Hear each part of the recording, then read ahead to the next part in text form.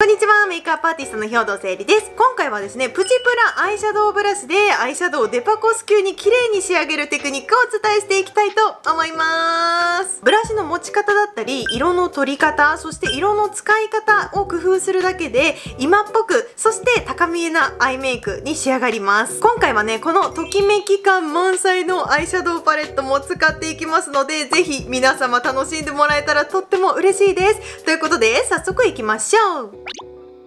はい、それではね、まず使っていくアイテムご紹介していきたいと思います。まずはね、これ私もすっごく気に入っている、こちら、じゃじゃーん、キレコーンの3本で550円のアイシャドウブラシでございます。これね、セットで3本で売ってるんだけど、すごいね、毛の厚みとか毛量とかもしっかりしていて、プチプラブラシの中でも使いやすいなという風に思っているので、こちらと、あとまあでも1種類だけだとね、ちょっとなんかなという風に思いましたので、昨日私が松清で購入してきた松清のオリジナルブランドのアイシャドウブラシ2本セットになっています。横から見るとねちょっとどちらかというとこうぺったりとしているようなアイシャドウブラシになるのでしっかり密着させたい時に向いている形状かなと思います。でまあこれらをねプチプラブラシ代表として使っていくんですけれどもアイシャドウで使っていくのはこの間のね30分でスキンケアからフルメイクまでっていう動画でも多分出したと思うんだけれどもメイクメイクのアイシャドウパレットを使っていきたいと思います。先日確か動画で使ったのはこちらの05番の方。だと思うんだよね。私普段使ってたのこの05か01番の色を使ってたんですけれども今回はですねウェイクメイクから新色でこの新しいカラーが2色出たっていうことでこれのねどっちかを使っていきたいと思います。まずはねこれ14番ちょっと見せるね。こんな感じ。もう超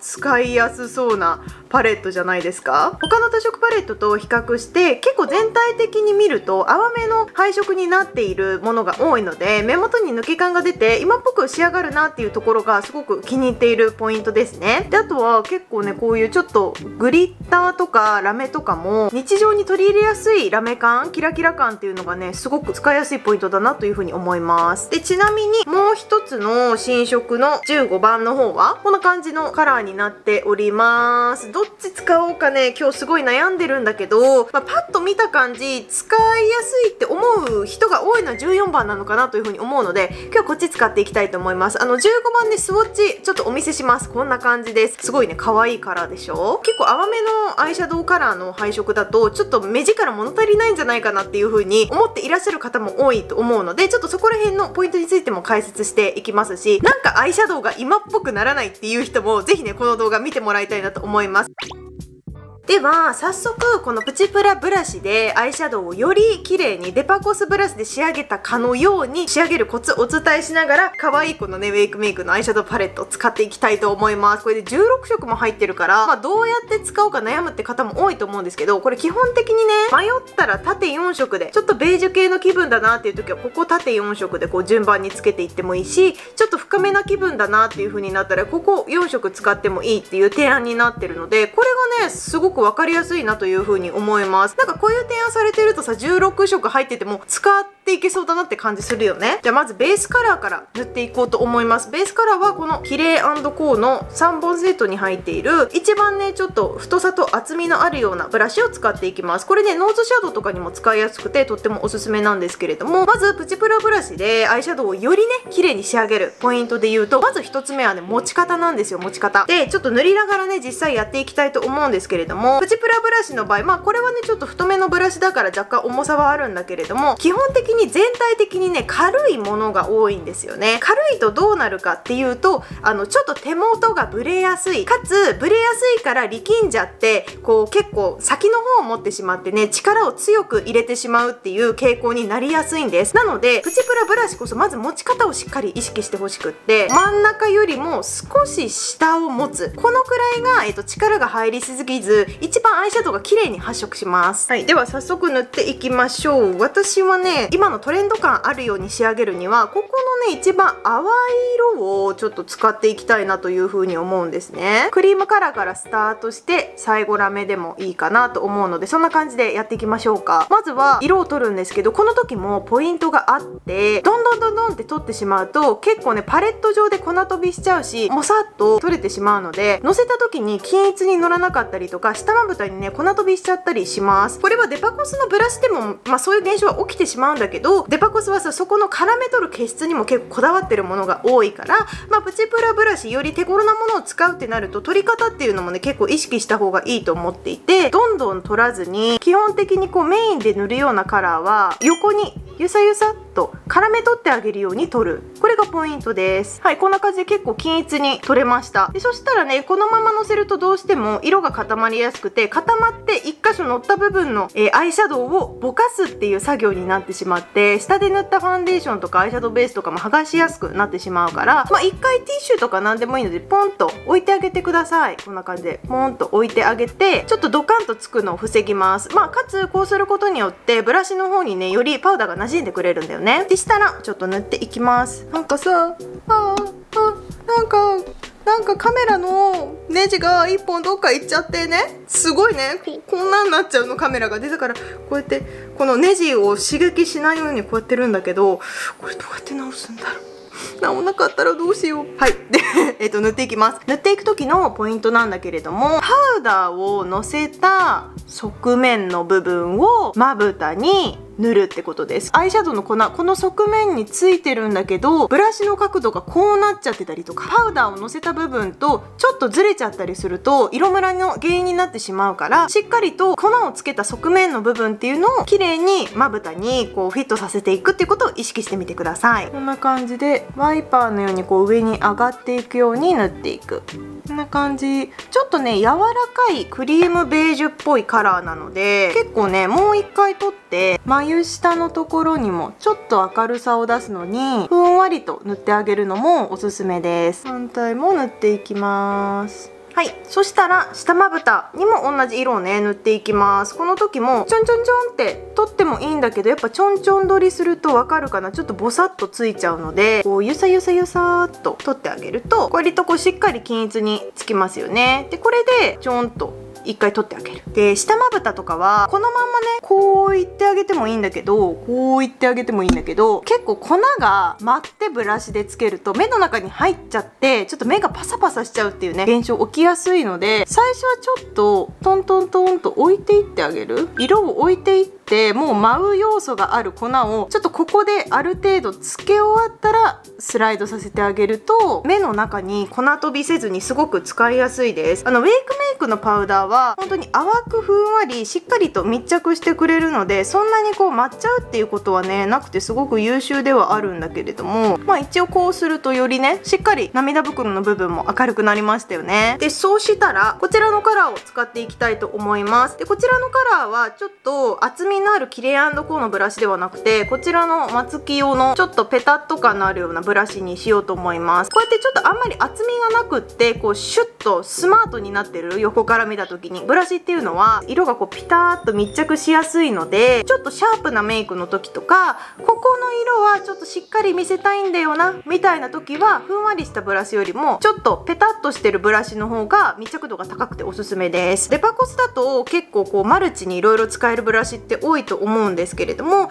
まあ、プチプラのブラシになってくると、まあ、マルチにっていうよりかは形に合わせて目的を変えていくっていう方がいいと思うのであのそれができるようになるとちょっとクオリティ上がるかなというふうに思うのでペタッとしたブラシはしっかり密着ふわっとしたブラシはふんわり柔らかくのせたい時って覚えておいていただけるといいかと思います。でのペタッとブラシに関してはゆさゆさする時にあんま力を入れすぎてしまうとあの逆に粉飛びしてしまうので超ソフトにふわふわとよりふわふわ横さすりを意識してみてください。こうするとこんな感じでしっかりね綺麗に取れます。これも粉を取った側面をしっかりとまぶたに密着させる。こうとかじゃないです。こう。ピタッと。どうかな？さっきよりもまあ同じぐらい淡い色だけどちょっと色が見えてきたんじゃないかな。でこういうブラシのすごくいいところはこれをさ例えばこう立ててちょんちょんちょんってつけるじゃない？まあこんな感じで先端につけました。先端につける時は横にさするとボロボロかき出しちゃうのでパウダーを。そういう時はちょんちょんってつけてください。立ててこうやって使えば結構目尻の細いラインに使えるんですよねこんな感じで。ふんわりした厚みのあるブラシだとここをちょっと使いにくいじゃない？でもペタッとしてるとこういうところにも結構使えるからそういう部分では持ってて便利なアイテムだよね。ちょっとミルキーなベージュもすごい可愛い。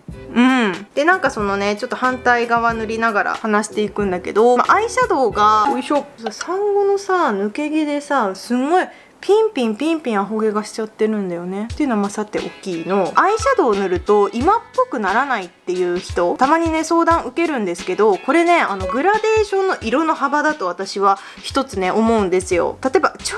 明るいホワイトからすっごい濃いブラウンまでのグラデーションにしていくとどうしてもちょっとね一昔前っぽいような目元の印象になっちゃうんだけど WAKEMAKE とかもそうだけどねこの縦にこうやって使っていくとさ色の幅がそんなにないじゃない？淡めのミルキーなカラーから一番濃い色もまあこのくらい淡めのココアっぽいような色味。こっちになってくると今度は始まりの色味がちょっとベージュ感がもうちょっと強くなってきてココアっぽい色味になるのでこの色の幅っていうのが昔のさアイシャドウパレットって結構ここベースカラーミディアムカラーでここが一番締め色みたいな感じで一番明るい色と濃い色までのね幅が結構広かったの。なのでより今っぽくねアイシャドウを仕上げるっていう風になったらこのグラデーションの幅っていうのをちょっと狭くしてあげる。ちょっとワントーンに近いようなグラデーションでアイメイクを楽しむっていうのがちょっと今っぽポイントかなというふうに思います。で WAKEMAKE はねその点すごくなんかそういうメイクを組みやすいパレットになってます。ちなみにこの WAKEMAKE のアイシャドウパレット結構ねいろんなこうカラーバリエーションがあるんだけれども一応ねパーソナルカラー別で選べるようになってるんだって。なのであの公式サイトとかを見てもらえると自分のパーソナルカラーが分かってる方であったらあの自分にぴったりのパレットを選ぶことができるのでまあそういうのもすごく基準が設けられてると選びやすいなというふうに思います。はい。でそしたらこの松木用のちっちゃい方のねブラシにこちらを取っていきたいと思います。これもこんな感じで側面に取りました。このね色もねすごい可愛いです。でこれをねさらにこう狭い位置に塗っていくんだけどこの時も側面をしっかりつけます。こういう淡めのアイシャドウだとどうしてもこう物足りない。目力が物足りなくて濃くしちゃうんだよなっていう方もいらっしゃると思うんですね。でまあそれはね私もね結構どっちかっていうとわかるんですよ。ちょっと一回塗り終わった部分見せます。ちょっと目力が足りなくなっちゃうっていう方に対してのポイントで言うと、まあ、ラメ感をしっかりつけてそっちで印象をつけるっていうのかもしくは目尻のアイライナーを少し長めに引いてあげたりだとかマスカラをしっかりこうちょっとボリュームを出したり長さを出したりすることによってそっちで印象づけるっていうようなイメージにするといいかと思います。でやっぱりねあの私も昔目の毛はすごい濃いアイメイクしてた時代があったんですけどその時はそれじゃないと自分がれないって思ってたの。本当に本気で薄くするなんてありえないって思ってたんですけど今ね写真見返してみると別にそんなことないじゃんって思うんですよ。まあ、見慣れてないっていう可能性も十分にありえると思うからちょっと淡めに試してみてそんな自分もにも見慣れるっていう風にしてみると案外いいかもしれない。やっぱね客観的に見るってすごい大事だなっていう風に思います。そしたら一番最後はこちらのねちょっとシマーなカラーを使っていきます。こういうのは指で使ってあげてもいいんだけれどもまあ、ふんわり系のブラシよりそれこそまた松木用のブラシ登場ですがちょっとペタッとしているブラシの方がキラキラ感の密度しっかり取ってくれるのでこれでちょっと取りましょうか。であのねこれだけ結構色味が全体的に淡めなので私はこの目頭側の際の部分から目の中心までこんな感じでつけて二重のこの目頭側がちょっとキラキラする感じにね最近すごくハマってます。もし一重さんとかでここだけだと見えないっていう方はこっからねちょっと放射線状に広げてあげたりしても可愛いと思う。日常使いしやすいこのシアーな感じキラキラ感がねすごい可愛い。こっちだけで使うって言ったんだけどちょっとこれも可愛いからこれちょっと涙袋に使いたいと思います。こっちの方がちょっとねホワイトゴールドっぽいような感じですね。これもすごい可愛いんだけどブラシのね先にちょんちょんちょんと涙袋なのでそんなに幅広くね取っても粉飛びしやすいから取ってこんな感じで取ります。こんな感じで取りましたらこれをちょっと置いていくようにつけます。ちょんちょんちょんと。黒目の下に置いていくようにつける。こんな感じです。すごい可愛い。ちょっと反対側もやろう。でもしラメ感がお仕事的にちょっと難しいかもっていう方。そういう方はあのラメを一番最初のベースカラーで敷いておくのもすごい可愛いです。上にのせるとどうしてもラメの存在感って出てきやすいと思うんだけどこの下に忍ばせておくとちょっと内側からキラキラが透けるぐらいな仕上がりになるので上まぶたとか特にちょっと小粒のラメ系を一番最初に仕込んでおいて上からマットを重ねるっていうのもあり。こんな感じでプチプラブラシで WAKEMAKE の可愛いアイシャドウパレットでベーシックだけど今っぽいアイシャドウの完成です。うん。いい感じ。可愛いです。じゃあちょっとアイライナーとマスカラも仕上げていきたいと思いますこんな感じでアイライナーとマスカラ仕上げてきました。アイライナーはヒロインメイクのリキッドを使ってアイシャドウシンプルな分目尻長めにしてマスカラはクリニークのダークチョコレート大好きなんですけれども使っております。はい。でそしたらちょっとおまけにはなるんだけど気になっていた WAKEMAKE のリップ。ちょっとこの色がねすごい可愛くてこっっちも可愛いけど今日の私のお洋服には12番が合いそうなのでこれさなんかドラッグストアでも見てちょっと気になってたんだよね。ちょっとこれなんかすごい。プルプルプルプル系です。塗ってみます。おええすごい。チュルチュル。ええ見てこの塗ってない音塗ってる方のこのチュルチュル感があしかもね全然ねこうベタつかなくてすごいサラッとしたリップオイルって感じ。香りはちょっと甘めの匂いがしまして塗った感じはなんだろうちょっとだけスーッとするかな。すごいするわけじゃないけどこれ結構可愛いかも。この組み合わせもねいいよね。このアイメイク結構どんなリップとかでも合わせやすいと思うから私は今日お洋服に合わせてみたんですけどリップも可愛いでございます。はい。ということで本日も最後までご覧いただきありがとうございました。えー、本日の再リクエストはこちら。皆さんが気に入っているアイシャドウだったりアイシャドウブラシがあればよろしければコメントでたくさん教えてください。ということで今回はですね私も愛用していてお話もらった時とっても嬉しかったんですけれどもウェイクメイクとのコラボ動画になりました、えー、気になる方ねぜひ概要欄チェックしてみてください。なんかこのリップさ塗ったさっきはちょっとスーッとするなって感じだったけど今結構スースーしてるかも。でも色可愛いね。はい。ということでこの動画で少しでもアイメイクモチベ上がったぞっていう方はぜひこちらにある丸いチャンネル登録ボタンをポチッと押して私にお知らせしてもらえるととっても嬉しいです。ということでまた次回の動画でお会いしましょう。バイバーイ。